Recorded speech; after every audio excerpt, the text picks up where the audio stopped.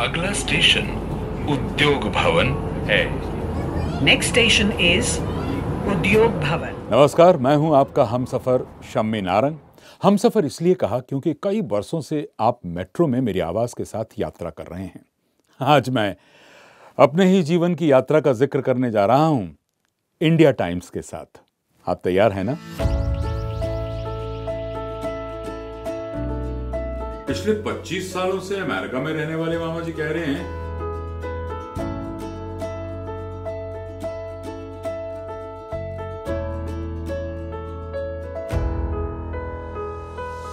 2002 में इन्होंने ट्रायल्स शुरू कर दिए।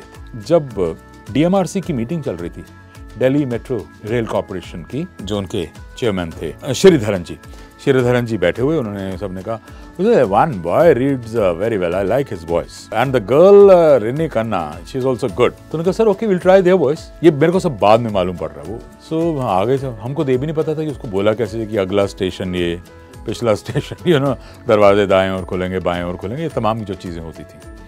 So, मैंने उसने कहा डन तो उस ट्रेन पे लगाया गया। अगला स्टेशन हाउस खास है। दरवाजे बाई ओर खुलेंगे। So from there of course Delhi तो पूरा मेरा और रिन्नी के हिस्से प्लस प्रोडक्शन मेरी ही कंपनी करती है। लखनऊ मेट्रो में आपका स्वागत है।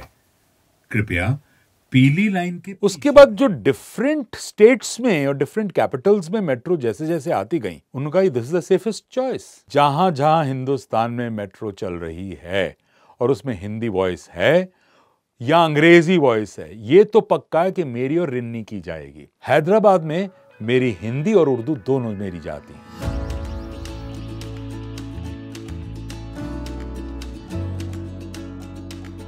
बहुत पुरानी बात है। कोई चार पाँच साल पहले की बात है। मेरे भाई जर्मनी से आए थे। मेरे साथ वो मेट्रो में चले गए और एक माँ और उसका बच्चा बिल्कुल सामने वाली सीट पर बैठे हुए। और जैसे जैसे मैं बोलता था मेट्रो में, अगला स्टेशन, जोरबाग। तो बच्चा कहता था Jorbagh so he use to imitate me every time use to imitate me that was the best thing so and I was laughing and the first best thing he told mama, in uncle के कितने मज़े हैं ना? गाड़ी में घूमते रहते हैं. सबसे बड़ा मेरी ज़िंदगी में जो कीर्तिमान मेरे लिए बना, मेरा milestone was basically metro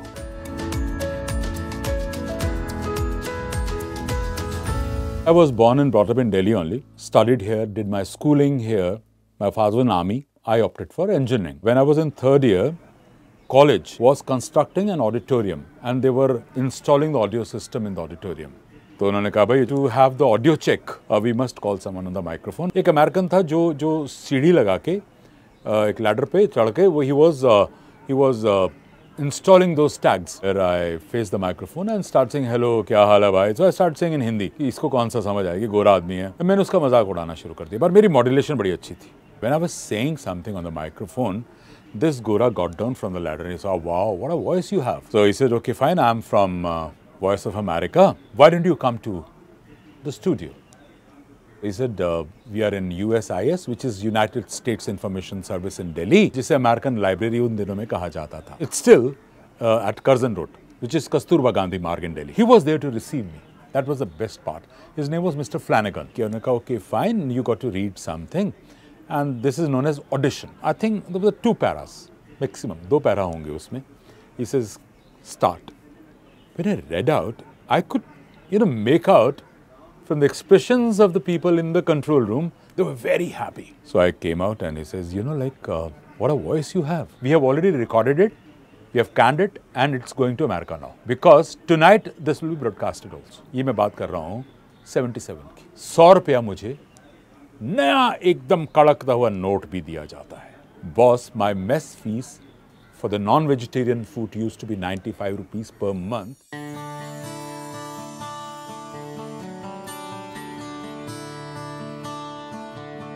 So I started, uh, you know, like I started selling both the books, college recordings, college.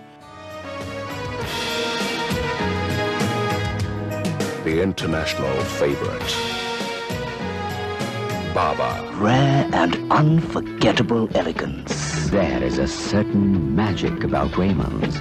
जब मैं कमर्शियल्स कर रहा था तो उन दिनों में बहुत पॉपुलर एक शो आता था Sarab Sanjhi Gurbani that's very devotional programme on Sikh गुरु ग्रंथ साहब सो देन आई स्टार्टेड ਆਤਮਾ ਦੇ ਸੁਖ ਲਈ ਟੈਕਸਲਾ ਟੀਵੀ ਦੇ ਨਿਰਮਾਤਾ ਪੇਸ਼ ਕਰਦੇ ਨੇ सरब सांझी गुरबानी एंड उसमें थोड़ा सा रिवर्ब डाल दिया जाता था and that became hit absolutely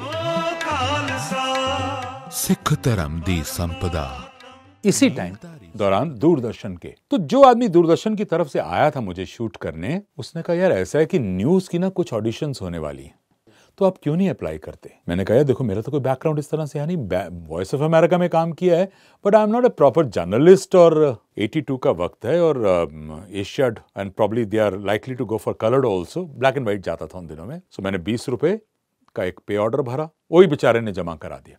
मुझे कॉल आती है। उसके बाद सब आप देखिए कॉल में हमें सबको वहाँ कम से कम मेरा ख्याल है कोई हज़ार आदमी तो होगा आसपास जो। वो भी यूँ पढ़ते थे। भारत के प्रधानमंत्री नेक्स्ट मतलब अभी भारत के प्रधानमंत्री बोला नहीं आवाज़ आई थी, थी नेक्स्ट मैंने कहा मेरा भी नंबर अब यही मुझसे भी यही होगा मेरा भी हशर. मैंने कहा भारत के प्रधानमंत्री मैं रुक गया बोला नहीं नहीं कह रहे पढ़िए. श्रीमती इंदिरा गांधी ने कहा कि ये ये ये ये ये मैंने रोक दिया फिर दो बोले नहीं पूरा पन्ना खत्म कीजिए. तो मेरे को फ्लो मैनेजर कहने लगा बॉस आपका मज़ा आ रहा गया है। ये घोषणा विदेश मंत्रालय के एक प्रवक्ता ने की। सो उसके बाद सात दिन का मुझे खत आता है कि आपको रिटर्न टेस्ट के लिए आना पड़ेगा। मैं रिटर्न टेस्ट के लिए जाता हूँ, मुझे खत आता है कि इस दिन आप आ जाइए। आपका कैमरा टेस्ट अब मैं उन दिनों में एक प्ले भी करना शुरू कर दिया था, शीला भाटिया जी का। सो ऐसे यार, मैं अगर टेस्ट में चला गया तो मेरी वो प्ले की रिहर्सल चली जाएगी. सो ऐसे मैं फादर को, मैंने कहा, जी, मैं देख लिया है, वो बहुत ही बहुत ही सुंदर सुंदर लोग आते हैं उसमें। मैं कहाँ टिकूँगा उनके बीच में? और वो पढ़ते भी अच्छा ही होंगी। मेरे फादर ने एक बात कही। यार तुम चले जाओ, घर तो आने देंगे।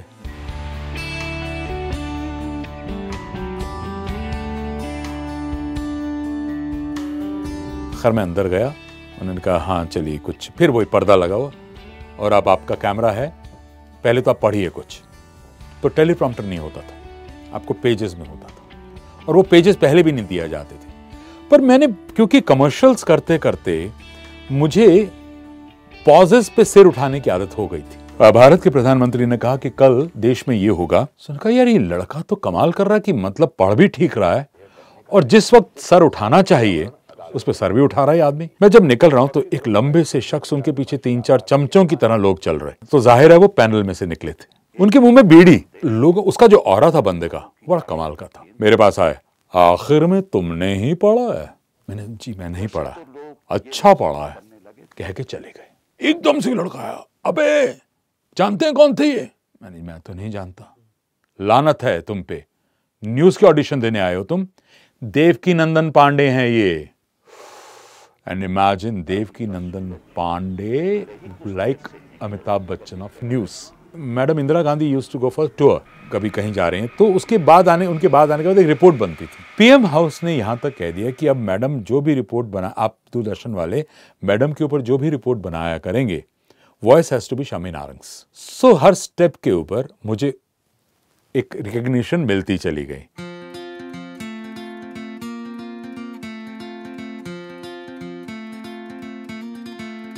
हम लोग जब न्यूज़ पढ़ते थे तो इस चीज़ का बड़ा ख्याल किया जाता था कि आप बहुत बड़ी एक ज़िम्मेदारी आप लेकर जा रहे हैं न्यूज़ पढ़ने में बिकॉज़ हमारे ज़माने में when we use to read news so in the schools and colleges normally kids were told that if you want to you know, improve your language or you want to valorize yourself, you want to be up to that standard, listen to these people.